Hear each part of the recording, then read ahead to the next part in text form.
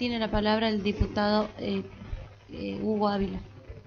Presidenta, para respaldar totalmente la iniciativa, yo había trabajado en el mismo sentido, en el mes de febrero había presentado un proyecto pidiendo que se acepte la transferencia que se sancionó en el Congreso de la Nación, la 27.651.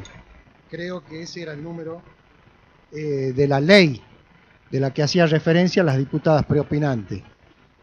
No sabemos todavía si eso se ha incluido en la agenda legislativa acá en, la Cámara de Diputados o en la Cámara de Senadores.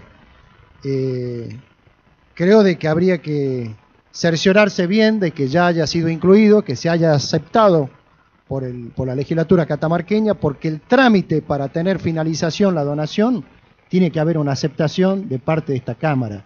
Si eso no es así, hay un proyecto que está con Estado parlamentario que plantea eso, podemos constituir el cuerpo en comisión y lo podemos hacer. Si no, eh, creo de que poner y declarar monumento histórico cuando todavía no hemos aceptado la sesión del mismo, no hemos cumplimentado todo el trámite de transferencia, me parece que vamos a estar generando un hecho eh, eh, sin la consistencia legal necesaria que tiene que tener. Así que eso es lo que yo planteo. Por favor, si se puede revisar.